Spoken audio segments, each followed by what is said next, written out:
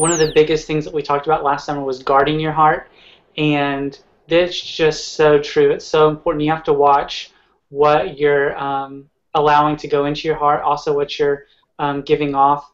But it's just it's really the small things that you've got to watch out for. We always think that things are going to come and they're going to be these huge mm-hmm. things that we got to protect against, throw scripture at. But it's also a lot of the small things that we got to watch for, and that's one thing that um, I've really um, taken to heart um, from pa- this past summer was that it's those small things, the the um, the doubts, the unbeliefs, things like that. Those are the things that you've got to guard your heart because if you don't guard your heart, those small things can can seep in and they be, they can become the the big things that we try and guard against.